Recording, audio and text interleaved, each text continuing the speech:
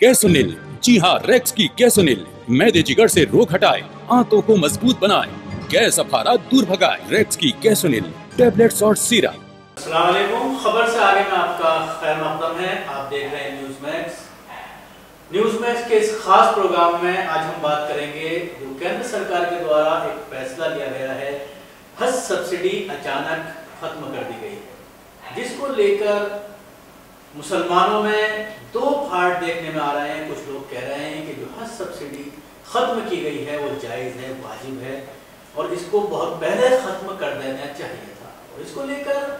کافی دنوں سے یہ بحث بھی چلی آ رہی ہے کہ آخر حج سبسڈی جائز ہے یا ناجائز ہے۔ اس کو لے کر بھی کئی طرح کے رائے ہیں علماء کی، مفتیان کی الگ الگ رائے ہیں۔ لیکن آج ہم اس پروگرام میں بات کریں گے جو حج سبسڈی دو ہزار اٹھارہ حج پر لوگ جو آ رہے ہیں، ایک لاکھ پچہتر ہزار حجی اس بار حج پر جا رہے ہیں، جن میں سے ایک لاکھ پچیس ہزار حاجی ایسے ہیں جو سینٹرل حج کمیٹی کے ذریعے انشاءاللہ حج پہ ادا کریں گے فریض حج ادا کریں گے۔ تو ایک لاکھ پچیس ہزار حاجیوں پہ اس سبسڈی کا اثر پڑے گا۔ پچھلے سالوں میں اگر دیکھا جائے تو دو ہزار سولہ کے بعد، دو ہزار چھ کے بعد سے ہی لگاتار کین سرکار کے ذریعے اس سبسڈی کو تھوڑا تھوڑا کر کے ختم کیا جا رہا تھا۔ دو ہزار چھ سے پہلے بارہ ہزار حج کا کرایہ ہوا کرتا بڑھتے اب پینتالیس ہزار تک پہنچ گیا ہے۔ پچھلے سال جو حج پر گئے تھے دو ہزار سترہ میں، ان سے کرائے کے نام پر جو پیسہ لیا گیا تھا کیندر سرکار کے ذریعے، وہ پینتالیس ہزار روپے تھا، جس میں تقریباً پچیس ہزار روپے کیندر سرکار نے سبسڈی دی تھی۔ لیکن اس کے ساتھ ہی ایک چیز اور آپ کو بتانا چاہوں گا کہ یہ پورا معاملہ دو ہزار چھ میں کورٹ میں گیا تھا اور کورٹ میں جانے کے بعد جو ایک سپریم کورٹ کی بینچ تھی، اس نے یہ فیصلہ دیا تھا کہ رفتہ رفتہ اس سبسیڈی کو ختم کیا جائے اور دو ہزار بائیس کو تک اس سبسیڈی کو بالکل سننے تک پہنچا دیا جائے، بالکل زیرو تک پہنچا دیا جائے۔ لیکن جس طرح سے بی جے پی سرکار کے دوارا اب اچانک یہ سبسیڈی ختم کی گئی ہے، تو اس کو لے کر یہی سوال کھڑا ہو رہا ہے جب کوئن سرکار، جب سپریم کورٹ نے یہ فیصلہ دیا تھا کہ دو ہزار بائیس تک اب طرف اس کو ختم کرنا ہے، تو اچانک یہ سبسیڈی ختم کیوں کی گئی؟ یہ بھی الزامات لگ رہے ہیں کہ دو ہزار انیس کے الیکشن کو دیکھتے ہوئے یہ فیصلہ کیا گیا ہے تاکہ ہندو ووٹرز کو کوئی طرح سے اکھٹے کیا سکے۔ کیونکہ اکثر یہ دیکھنے میں آتا ہے کہ غیر مسلموں کے ذریعے یہ بات کہی جاتی ہے کہ آخر حج پر سبسڈی کیوں دی جا رہی ہے۔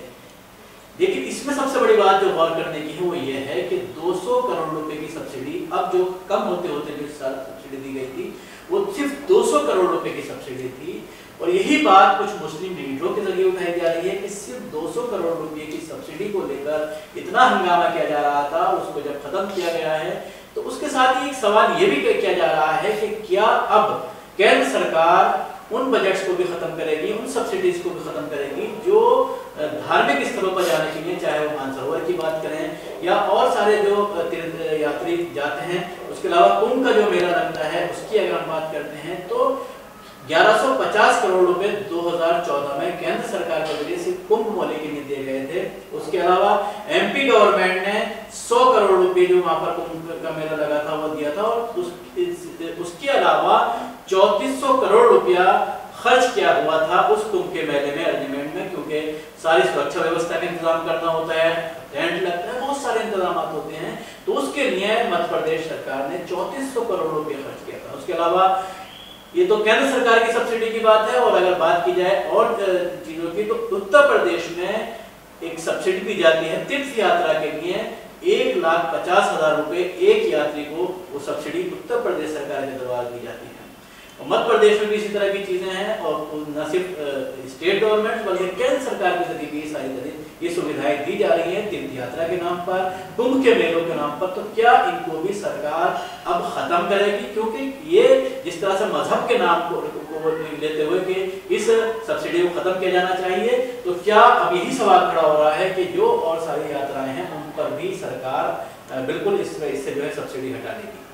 لیکن جس طرح سے کل مختار عباس نقوی نے اس پورے معاملے کی جانکاری دی اور اس کے بعد یہ کہا کہ اس اماؤنٹ کو مسلم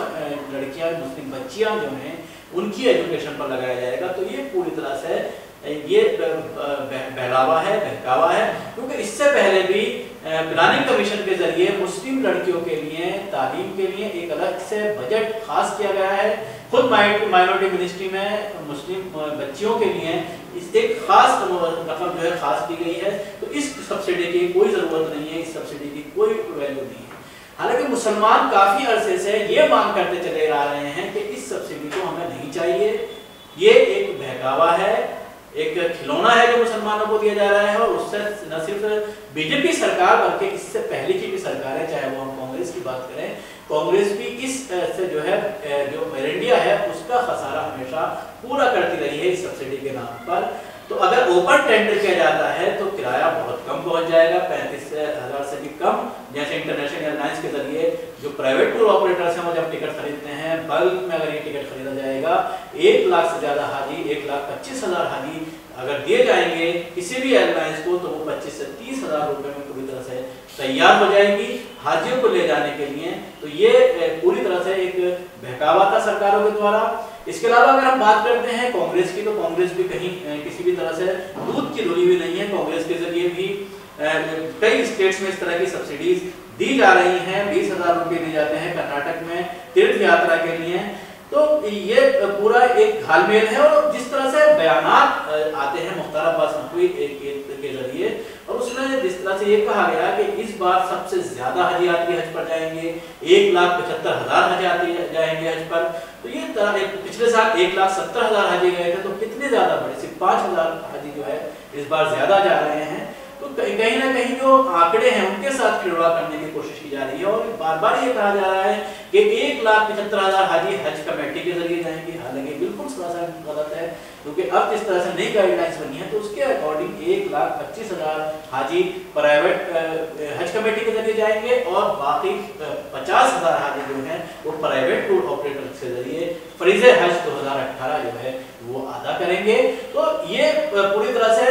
مسلمانوں کو گمراہ کرنے کی کوشش ہے، مسلمانوں کو جو ایک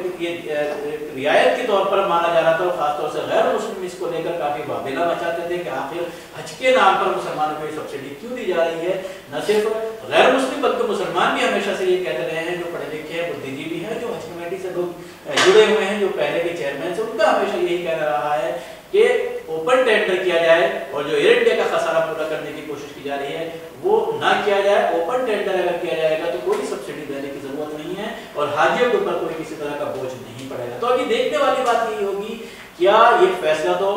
لے لیا گیا ہے کیندر سرکار کے ذریعے، لیکن کیا اب کیندر سرکار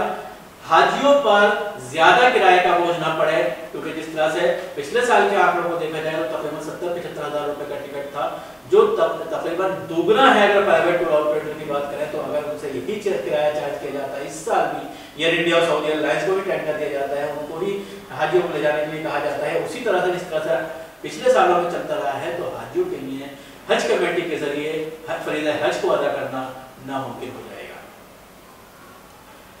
ہمارے چینل کو سبسکرائب کرنے کے لیے یوٹیوب چینل پر جا کر سبسکرائب کا بٹن ضرور دبائیں اور ہر خبر سے اپڈیٹ ہونے کے لیے